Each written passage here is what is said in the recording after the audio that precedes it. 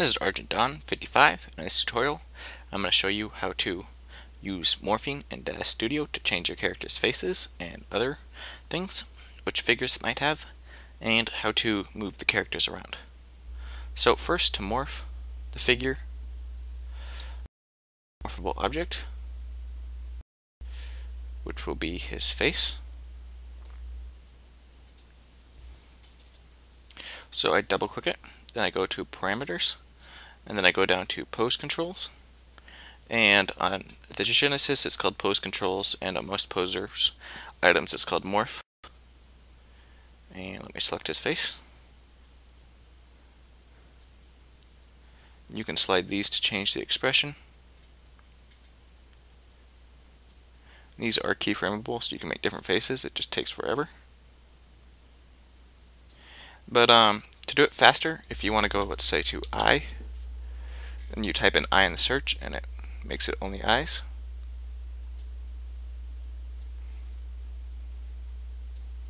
Or there's a type of expression. So um, let's say I type in concentrate.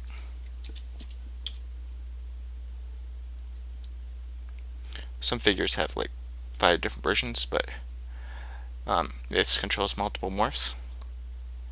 And you can do that to change his facial expression. Then also with the Genesis figure that has something called shaping, which you can access on your left tab here. And but just by using sliders, you can change the shape of the figure. You can make them fat. You can make them skinny. And you can just mesh the sliders and mix them around. And oh, the clothes still fit on the Genesis figure.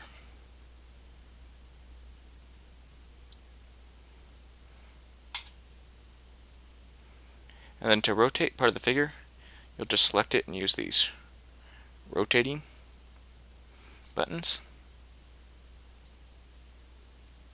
Or you can go over here to parameters and click all, try my search. And I find this easier to control the figure with.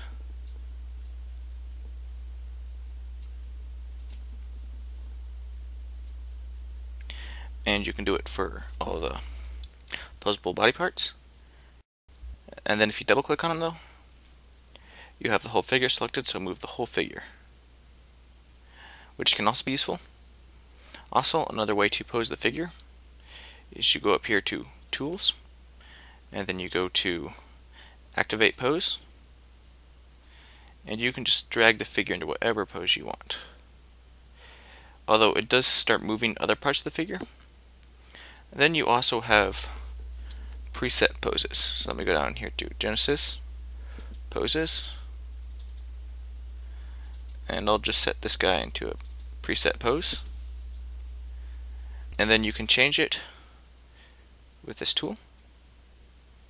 Now if it starts to move body parts you don't want it to move, the way you can fix that is go to his arm and go to parameters and you can put all those joints on lockdown so it cannot move those joints.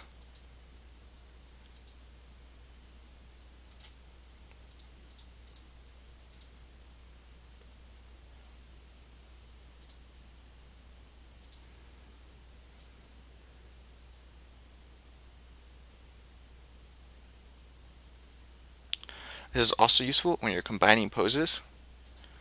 So if I want half the pose to him be sitting down, but I still want his arms to be like this, you can just lock the joints and it will make the pose you want. It takes a little bit, but it does help with your keyframing. So that's how to change the pose in DAZ Studio 4 and use morphs. Oh, before just end this tutorial, I'll load in a poser figure.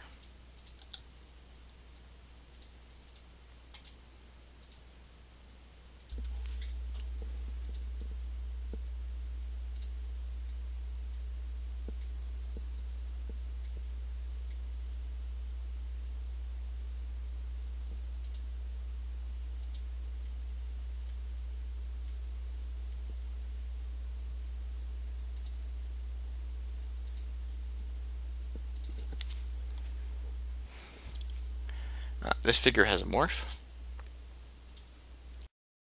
So if I go around here to his face,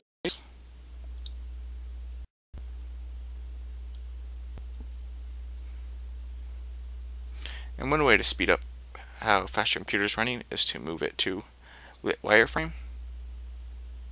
Mine, because I'm using screen capture software, it slows it way down.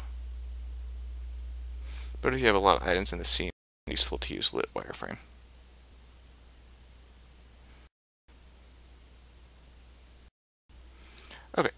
I'll switch back to texture shaded. So you click on this figure and you go to parameters and down to morphs. So this you can change his morphs. And you just have to be careful not to do it too much. Otherwise the model will explode or implode like this. But it gives you full control of it. So that's how to do morphs and pose controls and DAZ Studio.